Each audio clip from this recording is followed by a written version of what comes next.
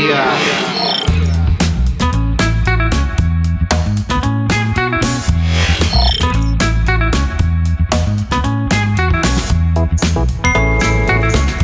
Halo, selamat datang kembali di Jerian Koi 89 Siapa nih teman-teman penghobi koi yang kemarin nanya-nanya dan juga punya cita-cita ingin menjadi dealer koi import atau penjual ikan koi import Apa aja yang harus lu punya, lu milikin, lu siapin, dan segala hal teknis lainnya. Kita bahas sekarang.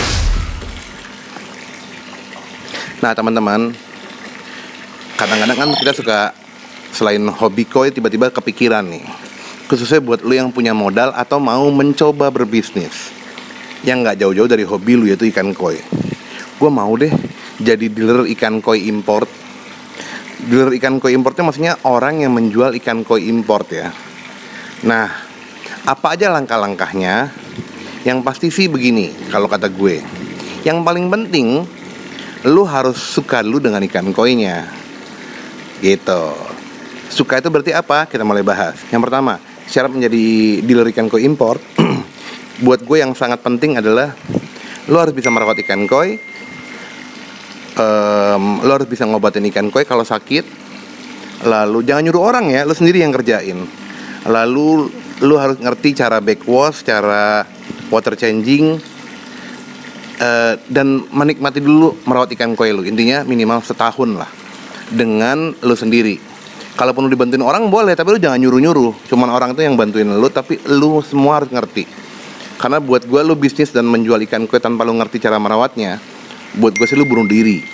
Sama aja ibaratnya gini kalau lu buka um, salon atau barbershop lu sendiri nggak bisa motong rambut. Kebayang nggak lu? Modal lu udah keluar besar bangun usaha lu itu. Tiba-tiba tukang barbernya atau tukang cukurnya berhenti. Semuanya. Dan lu nggak bisa nyukur.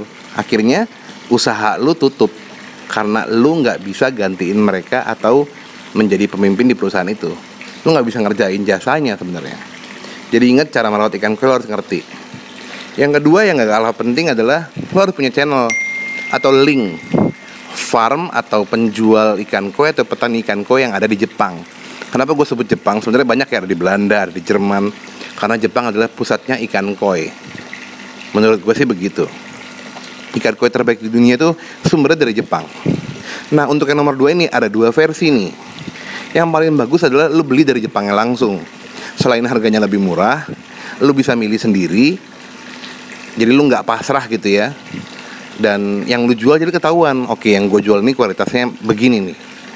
Nah, atau yang kedua, gue repotin ke Jepang, nggak ada duitnya, kos lagi. Uh, gue harus mulai kenalan sama Eh, farm-farm ikan koi atau petani ikan koi di Jepang repot, kendala bahasa dan lain-lain. Oke. Lu beli dengan dealer ikan koi yang ada di Indonesia yang memang jualnya partai besar.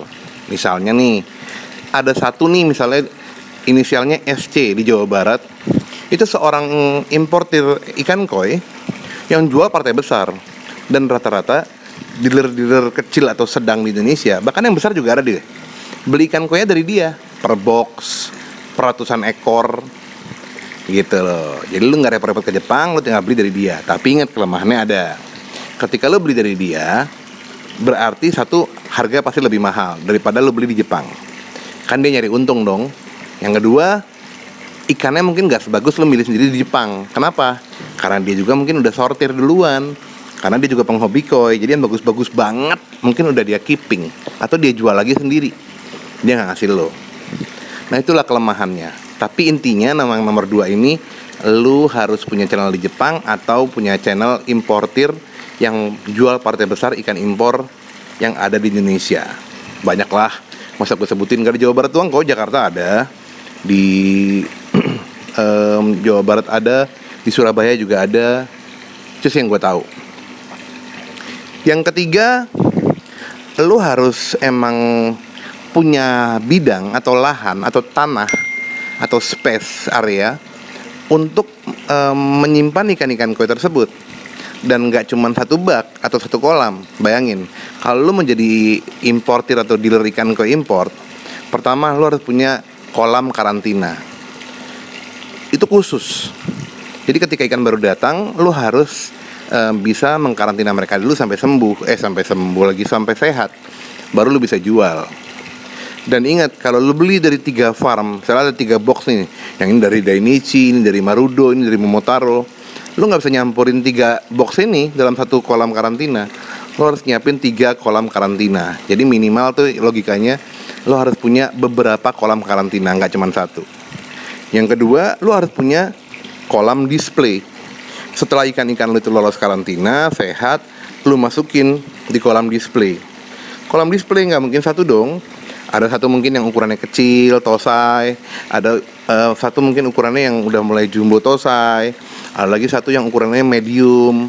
Ada lagi satu yang ukurannya mungkin misalnya yang udah large besar dan lain-lain. Yang artinya kolam besar atau kolam display yang um, lo harus milikin itu nggak nggak mungkin kurang dari satu. Pasti minimal dua dan ke atas. Lo perlu lahan. Dan lahan ini caranya nggak harus lo beli kalau emang uang lo terbatas dan lo mau mencoba-coba dulu kenapa lo nggak nggak sewa lahan aja atau kerjasama dengan teman lo nanti bagi hasil. Gitu. Tapi kalau lo punya lahan modal lo cukup ya lo pakai lahan sendiri lebih untung lah. Selanjutnya syarat untuk menjadi um, dealer impor ikan koi lo harus ngebangun link dan uh, lo harus banci sosial media.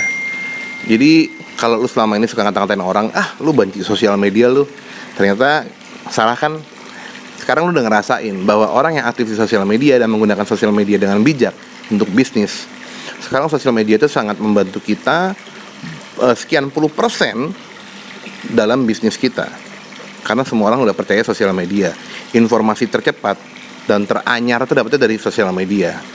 Jadi saran gue kalau lo mau jadi ikan apa dealer ikan ke import lo harus bangun sosial media yang bagus baik itu Instagram, Facebook, YouTube lo harus bikin dan lo harus punya tim. Yang pertama nih, lo harus punya tim fotografi. Ikan yang dijual lo harus foto dong. Nah itu harus memerlukan fotografer um, profesional. Setidaknya fotografer yang bukan kacangan kayak kita sendiri gitu. Yang kedua lo harus punya tim kesehatan.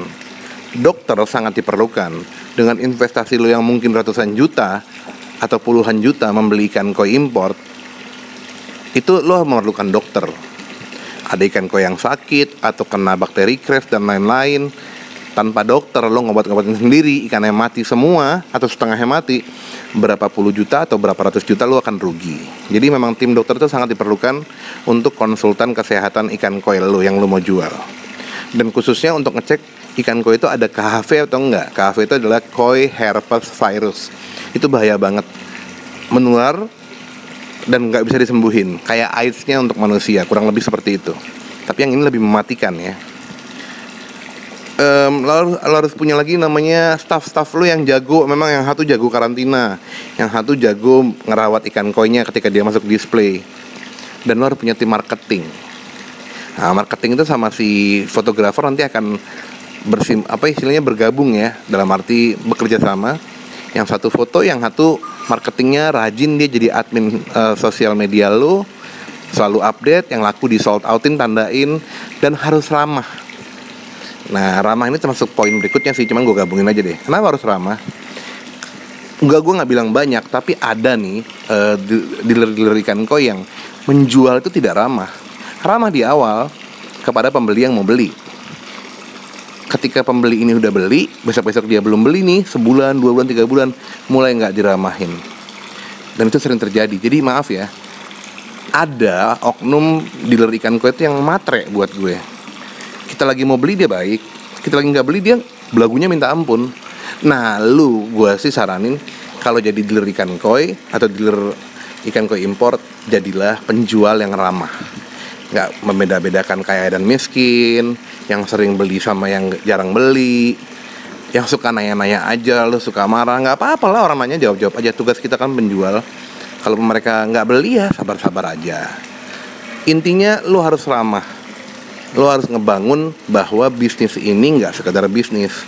Nggak cuman uang melulu toh yang kita incer tapi juga ada silaturahminya. Kenapa? Karena kita sama-sama penghobikan koi jadi kalau ada yang bilang ah bullshit ya itu lu aja kali. Yang pikirannya cuma uang melulu kalau di gue sih nggak masuk ya. Siapa teman-teman yang setuju kalau bisnis itu nggak uang melulu? tunjuk tangan dan like aja ya like. Gua mau tahu like nya makin banyak berarti yang makin setuju kalau bisnis itu nggak uang melulu. Dan lo harus ngerti obat-obatan juga ya. Jadi mungkin ketika lo menjadi dealer ikan koi impor obat-obatan yang lo pakai nggak bisa juga. Harus obat-obatan biasa yang seperti gue pakai selama ini bisa dipakai juga cuman ada tambahan memang obat-obatan yang profesional obat-obatan yang bukan generik yang emang itu lu bisa dapetin dari dokter-dokter hewan resmi. Jadi lu harus punya juga investasi ke um, obat-obatan. Jangan lupa selain lahan tadi persiapan lu juga lu harus siap-siap invest untuk berapa kolam yang lu punya, berarti berapa media filter yang lu butuhin, berapa pompa yang lu butuhin, berapa aerator yang lu butuhin, dan listrik lu harus siap. Gitu. Itu sih tips dari gue cara menjadi um, dealer ikan koi import. Um, kalau yang di Jakarta banyak banget tuh greenhouse, greenhouse tempat karantina ikan koi impornya di daerah Cisarua atau Puncak. Kalau gue di Lampung atau yang di Jawa Barat banyak banget tempat-tempat yang dekat sungai dan airnya bersih. Karena Lampung belum menjadi, eh Bandar Lampung belum menjadi kota yang hingar-bingar banget ya. Walaupun sekarang pembangunannya lagi pesat banget bagus. Teman-teman, siapa tahu ada yang nonton nih yang penghobi ikan koi impor sering beli atau yang mendalami bisnis ikan koi impor dealernya atau lu mungkin jangan-jangan dealer ikan koi import. Ayo dong berbagi ilmunya koreksi kalau ada yang gua salah dan tambahin juga tips-tips cara menjadi ikan koi eh tips menjadi dealer ikan koi import di kolom komen bawah. Yang pelit ilmu lah kalau ilmu yang lu kasih itu bermanfaat gue yakin jadi amal jariah. Jadi um, pahalanya buat lu datang terus. Selama orang itu menjalankan apa yang lu bagi ilmunya. Kan ilmu yang bermanfaat menjadi pahala yang berjalan terus kan? Amin. Teman-teman gitu aja tipsnya hari ini dan berbagi ilmunya. Maaf walaupun gue bukan dealer ikan koi impor tapi dari apa yang gue tahu, apa yang gue baca, gue coba bagikan ke teman-teman. Siapa tahu ada yang mulai bisnis kecil-kecilan, gue nggak perlu itu semuanya, gue nggak perlu space, gue mau di kolam gue aja deh, beli 10 ekor, 20 ekor, silakan boleh lu coba. Gue juga udah mulai-mulai jualan nih walaupun gue nggak jualan di YouTube karena gue nggak mau ngerusak YouTube gue dengan dagangan dagangan gitu deh sementara. Kalaupun suatu saat gue mau dagangan besar mungkin gue buat uh, channel baru.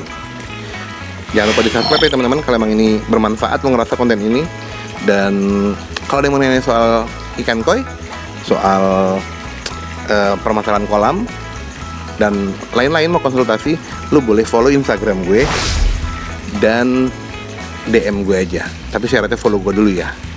Sehat-sehat semuanya. Jangan berkerumun awas. Kita lagi turun nih corona. Desember udah sebentar lagi. Di jalan-jalan di mall di tempat perbelanjaan udah mulai rame gue lihat teman-teman adik-adik kita yang sekolah udah mulai sekolah tatap muka. Kita doain mereka sehat-sehat dan kita jangan lengah ya. Jangan keasikan jangan euforia. Pandemi masih ada jadi tahan-tahan jual liburan lo. Bukan nggak boleh tapi carilah liburan yang aman dan nggak terlalu banyak orang. Jangan berkerumun. Salam dari Kikoi salam satu hobi. Cheers baby. Assalamualaikum. Bye bye